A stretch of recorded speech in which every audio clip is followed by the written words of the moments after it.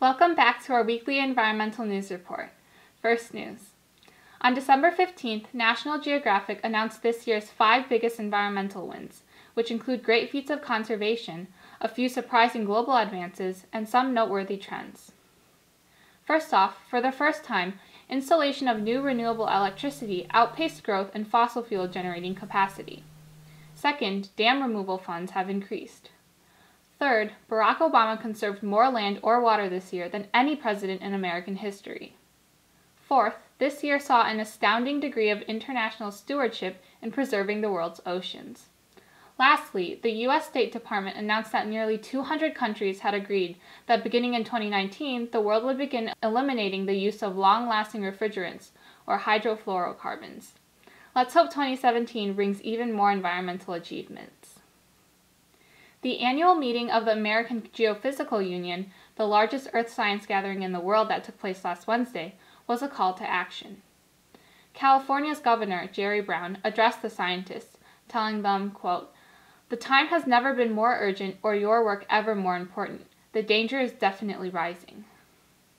Scientists were urged to speak up for scientific integrity in the midst of an uncertain government.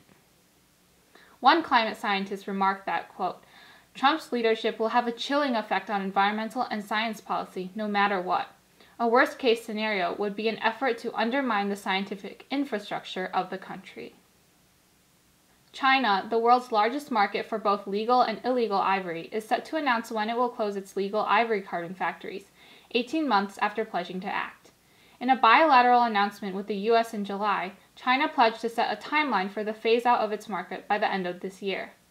In the country, ivory carving is designated as intangible cultural heritage. According to Zhou Fei, head of the China program at wildlife trade watchdog Traffic, the preparation for the domestic ivory trade ban is underway. Most of the legal ivory vendors are developing alternative business. The ivory price of both legal and illegal ivory products has dropped. Researchers at the Department of Energy's Pacific Northwest National Laboratory have reinvented and modified sawdust previously sawmill waste, to make it attract oil and float. These characteristics make it ideal for cleaning oil spills in the icy, turbulent waters of the Arctic. Just a thin layer of the non-toxic material can absorb up to five times its weight in oil and stays afloat for at least four months. In the coming months, PNNL microbiologist George Bonheyo and his team will further evaluate this chemically modified sawdust before actually being used to clean up oil spills.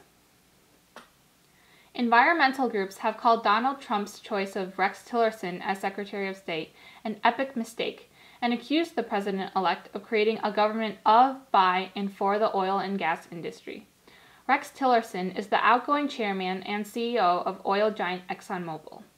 Although Tillerson has acknowledged that climate change is real, he claims society would be able to adapt to it.